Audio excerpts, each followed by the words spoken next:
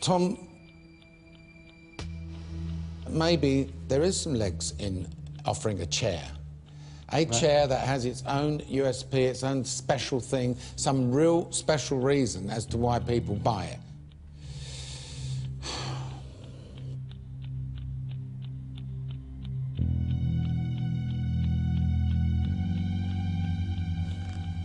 My decision is that